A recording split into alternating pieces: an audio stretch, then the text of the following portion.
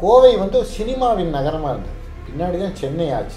தென்னிந்தியாவின் முதல் தேட்டரே வந்து கோயம்புத்தூரில் இன்றைக்கும் இயங்கிட்டு நூறு வருடங்களை தாண்டி ர- டிலைட்டுங்கிற பேரில் வெரைட்டி ஹால்னு ஆரம்பிக்கப்பட்டது. சாமிக்கண்ணு வின்சென்ட் அவர்களால் ஆயிரத்தி தொள்ளாயிரத்தி பதினாலுன்னு நினைக்கிறேன். அதில் ஆரம்பிச்ச தேட்டரு இன்றும் இயங்கிட்டு இருக்கிறதுங்கிறது ஒரு பெரிய விஷயம். அடுத்தது வந்து எடிசன்னு சொல்லப்படும் சுவாமி தேட்டர் ஆரம்பித்தாங்க அதுக்கப்புறம் வின்சென்ட்டே ஒரு அஞ்சாறு தேட்டர் கட்டிங்க ரெயின்போ இதெல்லாமே அவர் கட்டினது. அவரோட மகன் கட்டினது தான் லைட் ஹவுஸுங்கிற கென்னடி. பேலஸ்ன்னு சொல்லப்படும். இன்றைக்கும் இயங்கிட்டு இருக்கிற நாஸ் தியேட்டர். இதெல்லாமே அவங்க தான் கட்டினதாக சொல்லுவாங்க.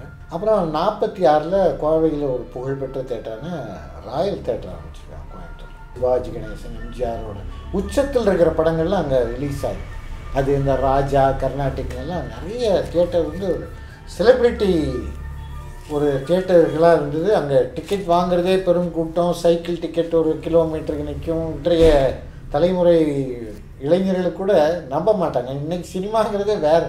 மொபைலில் பார்த்துட்ருக்குறோம்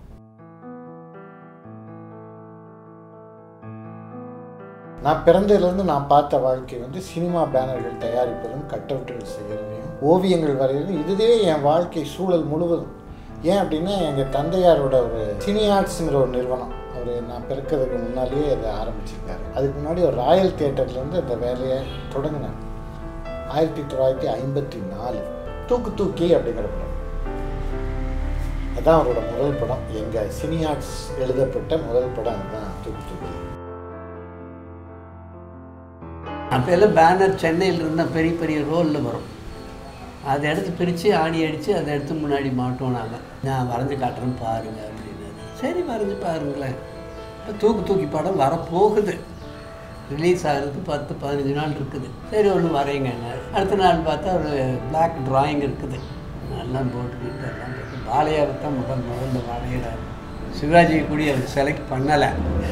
தேர்ட் டே பார்க்கும்போது கண்ணெல்லாம் வரைஞ்சி பாலையா நிஜமாகவே உள்ளே வந்த மாதிரி. நானும் எங்கள் பிரதரில் ஆடியே போயிட்டேன். ரொம்ப வேடிக்கையான மனிதர் உங்கள் அப்பா. அப்புறம் எல்லோரும் கோயம்புத்தூருக்கே வரைய ஆரம்பித்தாங்க இவங்க எங்களுக்கு மரியாதை கொடுக்குறது நாங்கள் அவங்களுக்கு பாசமாக இருக்கிறது. எல்லாம் இந்த காலத்தில் இருக்குமா எனக்கு தெரியாது.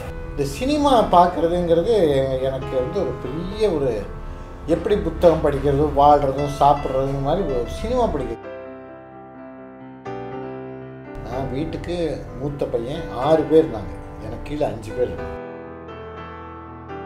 மூத்த பையனே காலேஜில் தான் படித்தான் அந்த மாதிரி ஒரு கட்டத்தில் எங்கள் அப்பா இறந்து போயிட்டார். ப்ரெஷ்ஷை கையில் எடுத்தேன். அது வந்து விடாமல் போச்சு. அது மாதிரி ரேஷான லைஃப் என் வாழ்க்கை முழுவதுமே கோவையில் தான் வாழ்ந்திருக்கேன். அதுவும் குறிப்பாக இந்த ஐந்து முக்குங்கிற பகுதி டவுன் ஹால் பக்கத்தில் உங்கள் எல்லாருக்கும் தெரிஞ்சிருக்கும்னு நினைக்கிறேன். ரஜினி கமல் வர்றாங்க. அப்புறம் வந்து மகேந்திரன் பாரதி ராஜா போன்ற பாலு மகேந்திரா போன்ற இயக்குநர்கள். இருக்கும் ரஜினி தலை வந்து வரைஞ்சிருக்கேன். வெறும் பத்தடி இங்கேருந்து இது வரைக்கும். அது ராஜாதி ராஜா படத்துக்கு. அது கூலிங் கிளாஸ் போட்டு மேலே பார்ப்பார். கூலிங் கிளாஸில் ரெண்டு மரம் இருக்கும். மரம் எதிரில் தெரியுதான்னு எல்லாரும் வண்டியை நிறுத்தி பார்ப்பாங்க. அந்த அளவுக்கு ஒரு ஒரு ஈடுபாட்டோடு நாங்கள் பண்ணோம். ஒவ்வொரு தியேட்டருக்கும் ஒரு அளவு இருக்கும். இப்போ ராயல் தியேட்டர்னால் இருபது அடிக்கு பத்து அடி இப்போ டிலைட் தியேட்டர்னால் பதினஞ்சுக்கு அடிக்கு எட்டு அடி. இப்படி ஒவ்வொரு அதெல்லாம் எங்களுக்கு மனப்பாடம் இந்த என்டையர் டெரிட்டரியோட அளவுகள் தெரியும். ஒவ்வொரு ஏன்னா தியேட்டரோட முகப்பு ஒவ்வொரு இது இருக்கு இல்லையா? அப்போ இதுக்கு வந்து நாங்கள் வேகமாக செய்ய வேண்டியிருக்கோம் வியாழக்கிழமை நாங்கள் டெலிவரி கொடுத்து அதை அங்கே மாட்டிருக்கோம். இப்போ ரஜினி முகம் விஜயகாந்த் முகம்லாம் எனக்கு வந்து அல்வா மாதிரி விதவிதமாக செய்வேன். கலர்ஸ் அது இது பயங்கர இத்தனைக்கும் அவங்க ரெண்டு பேரும் கருப்பான முகங்கள். கருப்பு முகங்கள்லேயே ஏகப்பட்ட கலர்ஸை கொண்டு வந்து செ செஞ்சு ஒரு விதவிதமாக செஞ்சிருப்பேன்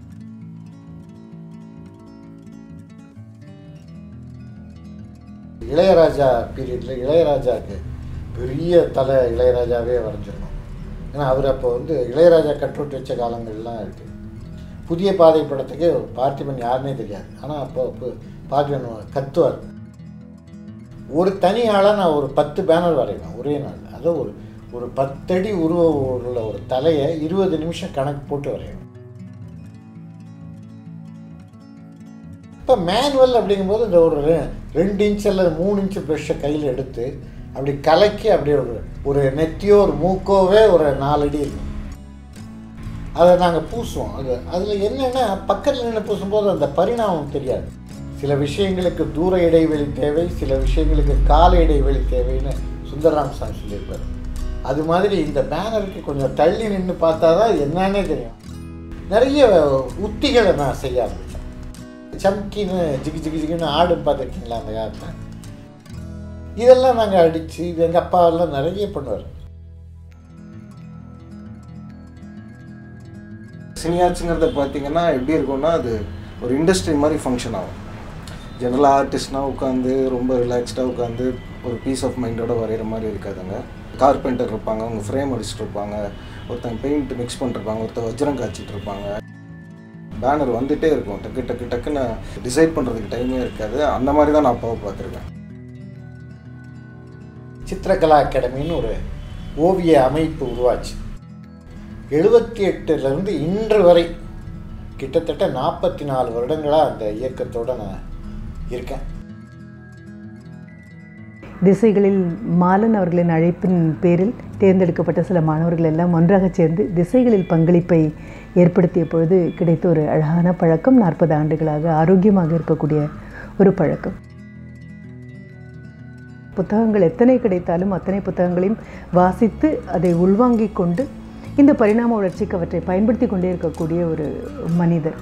வெரி எம்பத்தட்டிக் இண்டிவிஜுவல் இந்த ஈரம் அவருடைய எல்லா வெளிப்பாடுகள்லையும் தெரியும். அவருடைய ஓவியங்களினுடைய கண்களில் மென்னி இருக்கக்கூடிய ஈரமாக இருந்தாலும் சரி புகைப்படங்கள் எடுக்கும் பொழுது நீங்களும் நானும் காண தவறக்கூடிய விஷயங்களை அது காண தவறிவிட்டோம் என்பதை கூட தவறவிட்ட விஷயங்களை மிக துல்லியமாக காட்டக்கூடிய ஒன்று. அந்த ஒட்டுமொத்த அழகு ஹோலிஸ்டிக்காக அது இருக்கும் பொழுது அந்த அழகையும் நம் கண்முன்னால் மா காட்டக்கூடிய ஒரு நபர். நான் வந்து குறைஞ்சது ஒரு எட்டு பத்து ஆண்டு காலம் இவர் வரைகிறத பார்த்துக்கிட்டு நின்றுருக்கேன். வாரத்துக்கு ரெண்டு நாள் மூணு நாளாவது குறைஞ்சபட்சம் போவேன். அப்போ இவங்க மனசுல இருந்து அந்த முகம் எப்படி வருதுங்கிறது தெரியும். எனக்கு நான் ஒரு ஓவியன் அல்ல.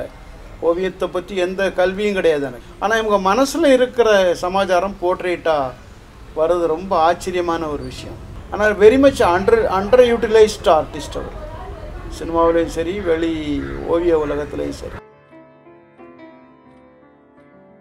இருபது முப்பது வருஷமாக வந்து கிக்கானியில் வந்து மாணவர்களுக்கு வந்து இலவசமான ஓவிய பயிற்சி பண்ணிகிட்ருக்காரு இருக்காரு அரசு பள்ளி மாணவர்களுக்கு வந்து உள்ள க்ரியேட்டிவிட்டி நிறைய இருக்கும். அதை வந்து வெளியே கொண்டு வரதுக்கான வாய்ப்புகள் அவங்களுக்கு கிடையாதுங்க. அவங்களுக்கு வந்து இவர் பண்ணித்தரோங்கிறதுக்காக ஒரு வருஷம் தொடர்ந்து அந்த பயிற்சியை வந்து ஸ்கூலுக்கு வந்து பண்ணி கொடுத்தாரு. நான் ஒரு வழக்கறிஞராக நான் பணிபுரிஞ்சிட்டு இருக்கும்போது அந்த சாட்சி எங்கிட்ட உட்கார வச்சு நான் விசாரணை பண்ணுவேன். மூக்கு எப்படி இருந்தது வாய் எப்படி இருந்தது இதை வந்து நான் கிரகித்து அதை வரைவேன். வரைஞ்சி வரைஞ்சி அவர் ஆமாம் இல்லை ஆமாம் இல்லைன்னு சொல்கிறேன் கடைசியில் அந்த உருவம் வந்துடும் ஆ இவர் தான் அவனை பிடிச்ச கதையெல்லாம் இருக்குது கோயம்புத்தூர் அது கம்ப்யூட்டர் வர்றதுக்கு முன்னாடி. இப்போ ஆதிமூலம் எடுத்துக்கலாம். அல்ஃபோன்ஸா அந்தோனிதாஸ் இன்று வாழும் நம்ம ட்ராட்ஸ்கி மருது. இவங்க எல்லாருமே என்னோட குருநாதர்களாக ஏற்று அவங்க கூட நான் பழகியிருக்கேன். தேடி போய் பழகி அவங்க எல்லாருமே என் மேல் ஒரு ரொம்ப அன்பு கொண்டவர்களாக இருக்காங்க. பேனருங்கிறது வந்து நீங்கள் மலிவான விஷயம் கிடையாது. பியூர் ஆயில் பெயிண்ட் பேனர்னு பார்க்க சதுரடியில் தான் அப்படின்னு ரொம்ப சீப் வேலை ஆனால் அது பின்னாடி இருக்கிற உழைப்பும் அதுக்கான ரா மெட்டீரியல்ஸும் அது வந்து இன்றைக்கி ஒரு பேனர் செய்யணும் என்னால் முடியாது. ஏன்னா அது இல்லை. இங்கிலீஷ் படங்கள் நிறைய செய்வோம். ஃபாரின் மூவிஸ்க்கு நிறைய மலையாள படங்களுக்கு செய்வோம். இப்போ கேஜி ஜார்ஜ் அடூர் அரவிந்தன் இந்த மாதிரி பைத்தியம் எனக்கு அதிகம். இந்த பைத்தியத்தோட இதுதான் என்னோட புத்தகமாக திரைச்சீலைங்கிறது.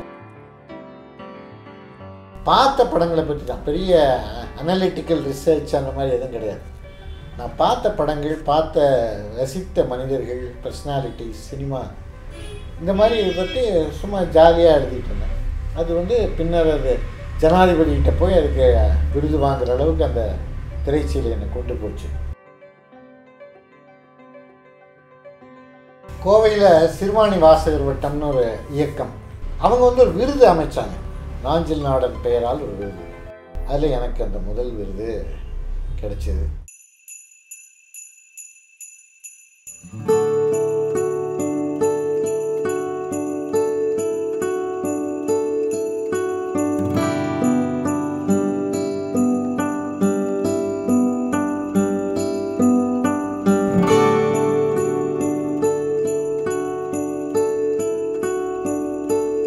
அப்சர்வ் பண்ணுவேன் லைஃப்பை என்னோடய ஃபோட்டோகிராஃப்ஸ் அப்படிதான். நிறைய ஃபோட்டோ எடுப்பேன். என்னோடய ஃபோட்டோகிராஃப்ஸ் பூரா அன்றாட வாழ்க்கை டீ கடை திருநாய் இப்படி சப்ஜெக்ட் போயிட்டுருக்கோம் இந்த மாதிரி சன்செட்டு சன்ரைஸ்னா அதுலேயும் ஒரு ஏதோ ஒரு ஸ்டோரி இருக்கிற மாதிரி பார்த்துக்குவேன். அப்போ என் தம்பி வந்து எங்கள் அப்பா இறக்கும்போது என்னுடைய கடைசி தம்பிக்கு வந்து வயசு பன்னெண்டோ பதிமூணு தான். மணிகண்டன். என்னுடைய கனவு இருக்கு இல்லையா சினிமா. அதை அவன் மேலே திணிச்சு இன்னைக்கு இந்தியாவில் இருக்கிற டாப் த்ரீல என் தம்பி ஒரு ஆள் மணிகண்டன். பாம்பேயில் ஹிந்தி படங்கள் ஷாருக் கான் படங்கள். என் பையன் ஆனந்தன். அவர் வந்து அவர் பாதையை தேர்ந்தெடுத்து அவர் ஒரு கேமராமேனா. ஒரு பத்தடி இருபது அடி பேனர்களை அசுர வேகத்தில் வரைஞ்ச நான் வந்து இன்றைக்கி ஒரு டேபிளில் உட்காந்து ஒரு மவுஸ் அல்லது அதுக்கான வேக்கோம் ஸ்டிக்கை வச்சு வரைகிறேன். காலத்துக்கு ஏற்ப எங்களை மாற்றிக்கி மாற்றிக்காதனால நிறைய ஓவியர்கள் இன்னைக்கு காண போயிட்டாங்க.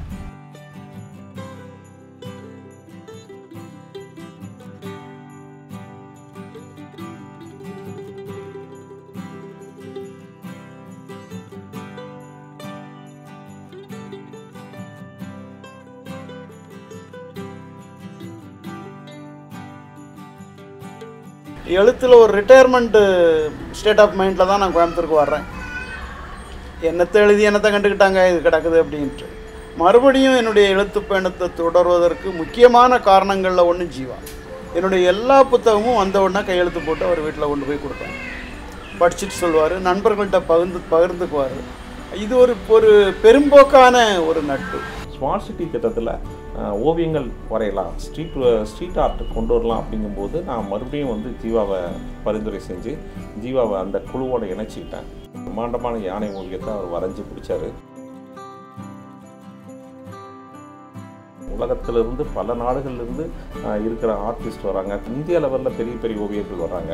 ஸோ அவங்களெல்லாம் வரும்போது ஜீவாவோட திறமையை பார்த்து வியக்கிறாங்க. நம்மளுடைய ஜல்லிக்கட்டு போராட்டம் நடந்த அந்த டைமில் cowboy film festival western classics இருக்கிற ஒரு ஃபெஸ்டிவல் மூணு நாள் நடந்தது.